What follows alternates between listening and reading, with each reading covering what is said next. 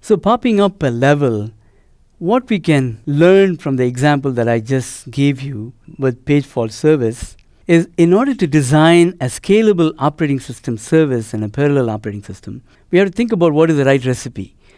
For every subsystem that you want to design, first determine functionally what needs to be done for that service.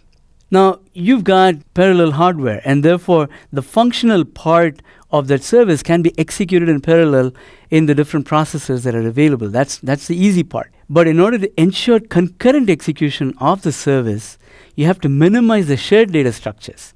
Only if you minimize the shared data structures will you really be able to execute the functional part of that service concurrently on the available processes. So less sharing will result in more scalable implementation of the service.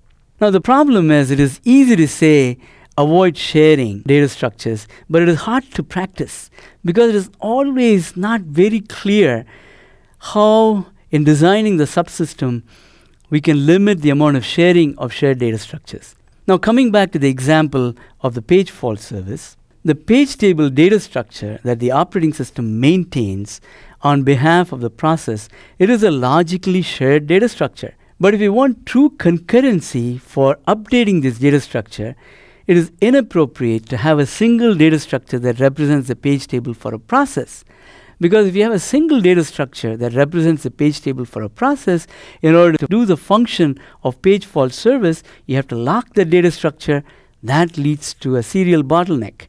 But at the same time, if we say, well, you know, let's take this page table data structure and replicate it on all the nodes of the multiprocessor, that probably is not also a very good idea because then the operating system has to worry about the consistency of the shared data structure copies that are existing on all the processes and making them up to date all the time and so on. So we can now quickly see what the dilemma is of the operating system designer.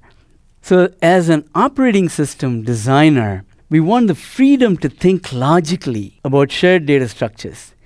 But later, depending on the usage of the data structure, we want to replicate or partition the data structure so that we can have less locking and more concurrency. That's the real trick. The trick is you want to think logically, yes, it's a shared data structure, but based on the usage, we want to replicate or partition the system data structures so that you have more concurrency and less locking for those shared data structures. So we'll keep this recipe and the principles we talked about in mind and talk about one particular service, namely the memory management subsystem, and how we can avoid serial bottlenecks using the techniques that is proposed in one of the papers that I've assigned to you for reading, which is called the tornado system. The key property is less sharing leads to more scalable design.